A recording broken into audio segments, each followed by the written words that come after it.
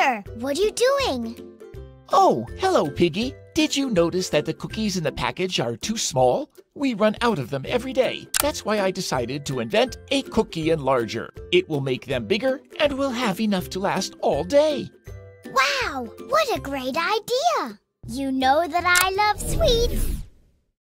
By the way, I am almost finished with the device. The only thing left is to find the right size batteries. Let's go for a walk and look for some. Sure, it's always so much fun being around you, Professor.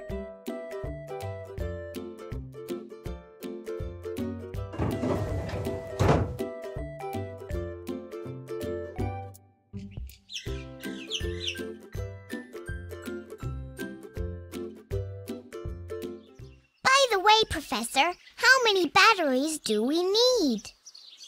Well, you can see that the device has four sections of batteries, and each section holds three batteries. So if you multiply 3 by 4, you'll get the answer. Hmm, what does multiply mean? I know how to add numbers, but if you multiply numbers, is that the same? Oh, Piggy, don't worry. I didn't know that you haven't learned multiplication yet. Do you want me to explain how to multiply on our way? It's very simple. Sure thing, Professor. That will be wonderful.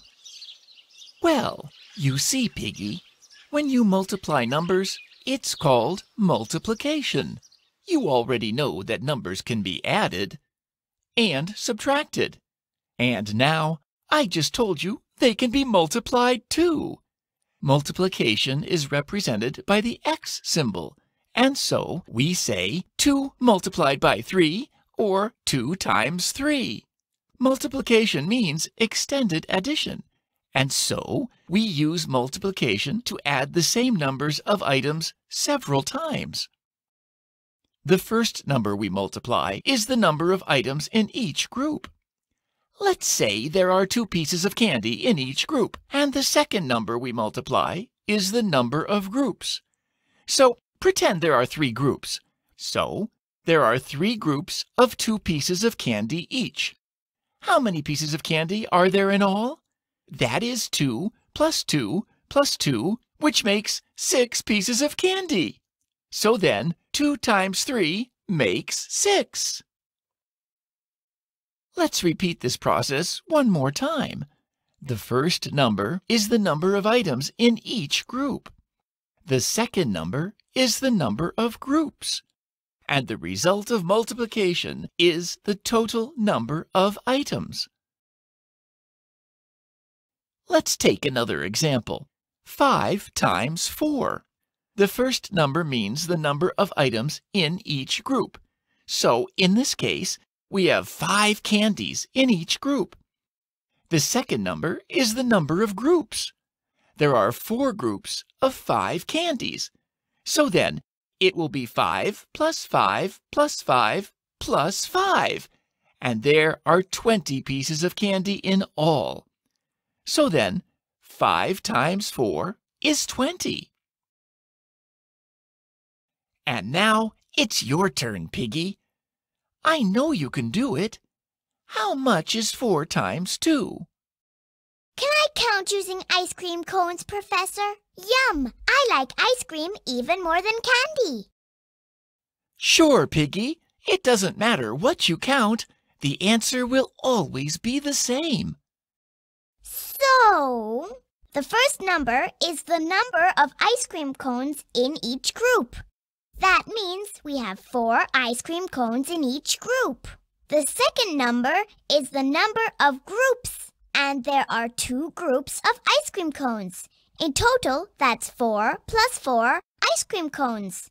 And that is eight, which means four times two is eight. You're right, Piggy. Excellent job.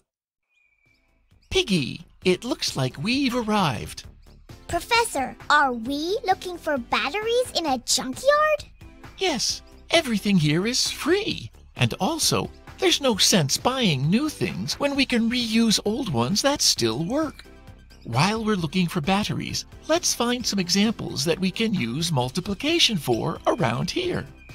Hey, Piggy, check out these bird nests. There are three birds in each nest, and there are three nests.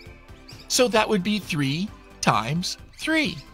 There are 3 plus 3 plus 3 birds, for a total of 9 birds. Now it's your turn, Piggy. What can you find? Let me see. Wow, I think I have found my example, Professor. Look, three piles of five apple cores each. Good example, Piggy. Now, how will you write this using multiplication? Hmm, I know. Five apple cores in each pile. And there are three piles. So that will be five times three. There are five plus five plus five apple cores in all. That makes 15. So 5 multiplied by 3 is 15. Great job, Piggy.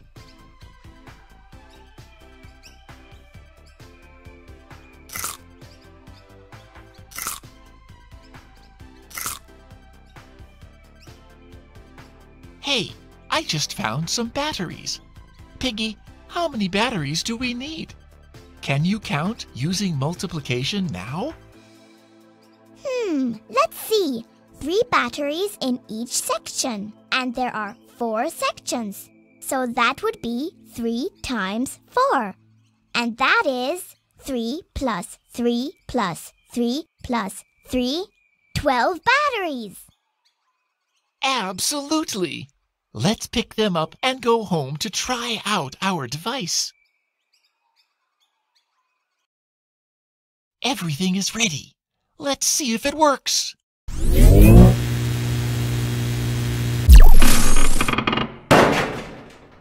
Yes, we did it! Yummy! Ah, our device definitely works. I think now we can take a break and drink some milk with our cookies.